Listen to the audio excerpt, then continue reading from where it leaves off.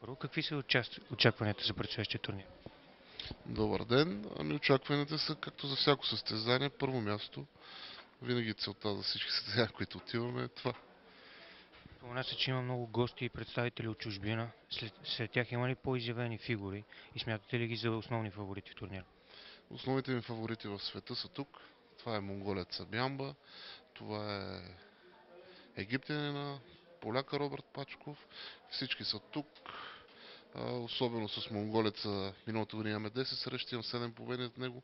Той живее в Лос Анджелес, победи го и на двата турнира и на USA Grand Prix и на USA Sumo Open.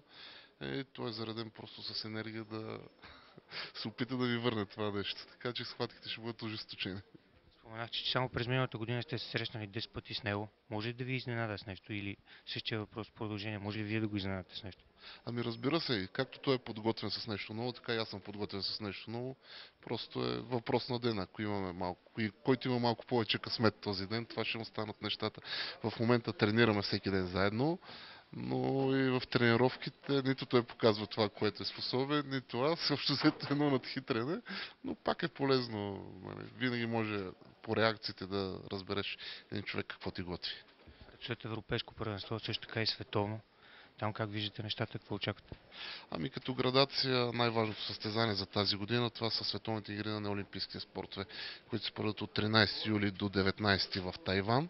Това за мен е задача номер едно за тази година, а, както и след това световното в Египет.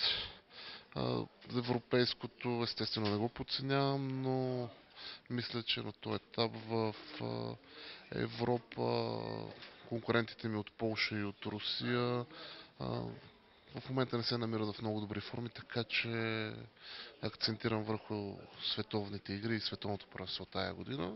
Ще направя естествено всичко възможно на европейското, но малко става на заден план. Благодаря на успех. Благодаря.